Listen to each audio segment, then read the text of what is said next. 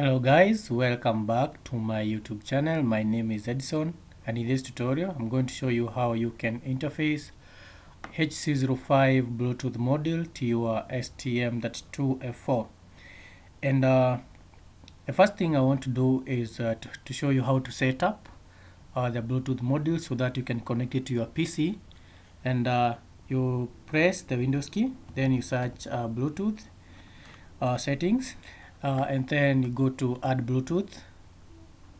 Click on Bluetooth. You'll see your HC05 module when you connect it to power. Then uh, connect. It will ask you for a pairing password. So the default password is 1234 or 000 then you click connect. Then your device is ready to go. Uh, from there you go to uh, terminal software and uh, you'll find that here on the COM port there are several ports that you can test uh, uh, whereby you, your HC05 uh, Bluetooth module has been assigned to. So you can uh, start with the COM6 then uh, connect. So when you connect when the connection is successful I expect that the blinking rate will change so I'll click connect and uh, you can see that's not the port. You disconnect and uh, try the next port. Then you can see that uh, the blinking rate has changed uh, to mean that uh, your Bluetooth module is connected to your PC so I'm going to minimize this and uh, go to a CubeMX create a new project then select the board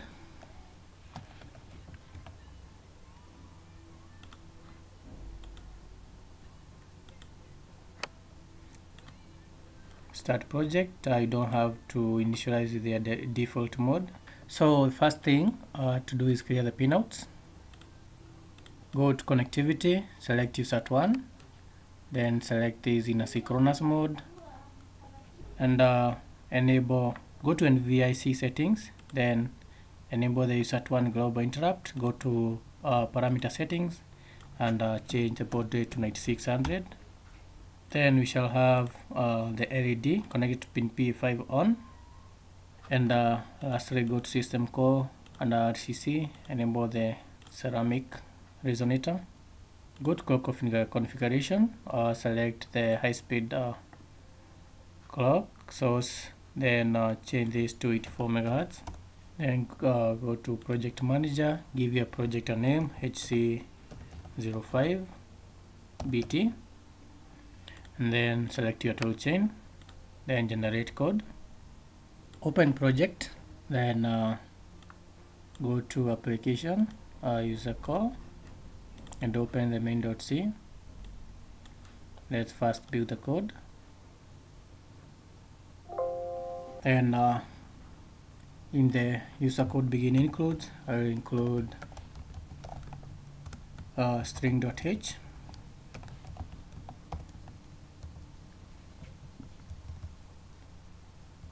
then in the private variable section I want to declare.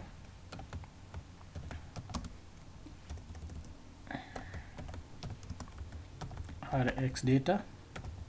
So this is the buffer that will hold the data uh, received uh, from the Bluetooth module. Then we shall have int flag. Will initialize this to zero. Then you have a pointer a character.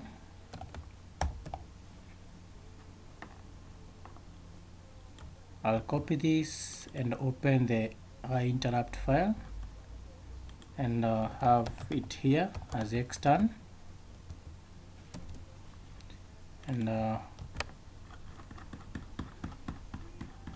in the USART1 uh, IRQ handler I'll have flag equals 1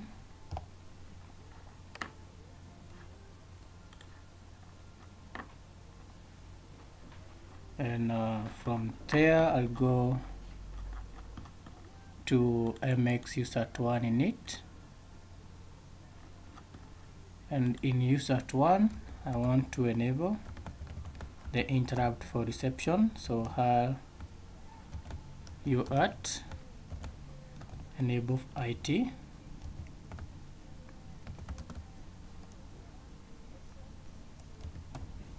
and uh, it's from uart1 and uh, it's uart it RXNE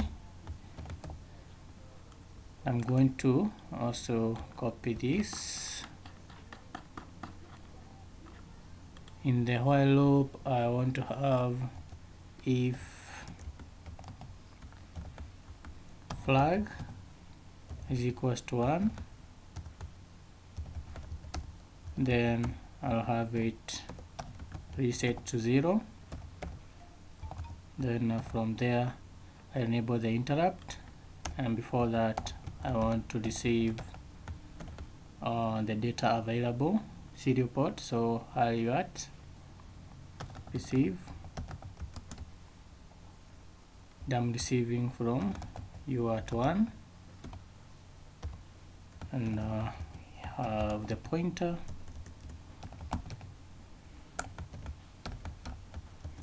And uh, storing data to the RX data. Then we can receive that characters in a span of 100 milliseconds. And uh, from there I want to search. So I use the uh, p that I declared as a pointer. And we have this function str str. And uh, takes two parameters uh, the strings from which you want to search and uh, the strings that you want to search so we have we want to search in rx data.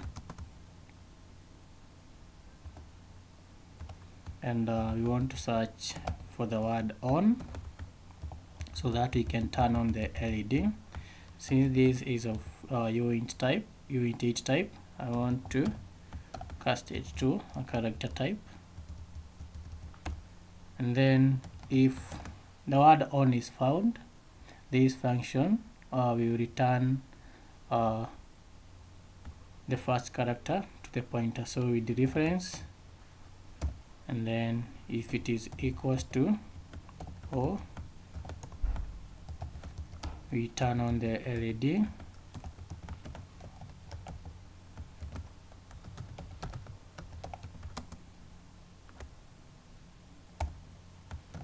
and then it's GPIO-A, GPIO pin 5, GPIO pin set, then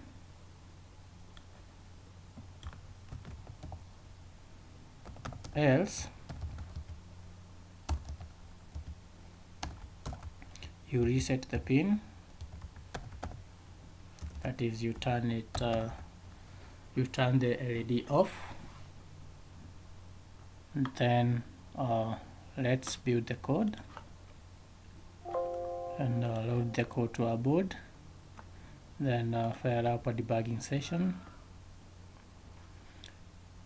And in the interrupt file I want to add a, uh, a breaking point at this point so that we can know whether uh, we have some data received. So let's run the code and go back to our serial or to the terminal Bluetooth terminal and I'm going to set a word on with the two trailing spaces. Then click set you can see that uh, we uh, the uh, user to one IRQ handler was fired because uh, there was some data that is received. So then uh, you continue and then in the main.c uh, we can add a breaking point at this point. And uh, manually reset the board and I'm going to set uh, the characters again. And you can see that it's run until this point. So if the word on is found or uh, it is assigned the first character is returned and you can see we already have O that means now the uh, the LED will be turned on. So the LED is on and then we enable the uh, reception interrupt. Then uh, I can remove this breaking point and uh, in this uh, Bluetooth terminal I can uh, set uh, I can set some macros. And the first one I want to set is kindly remember to use two trading spaces. I'll have on and I'll name this button as on. Then I'll have off and I'll have this button as off then save. You can save this file anywhere. And then uh,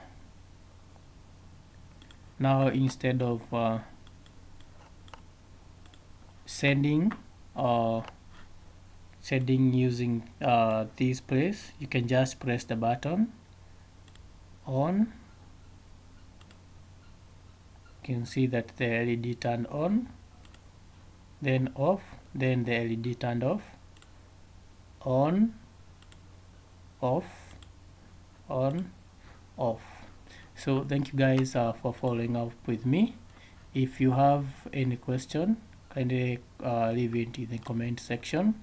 And uh, if you like the video please share uh, like and even subscribe for more I'll see you in the next tutorial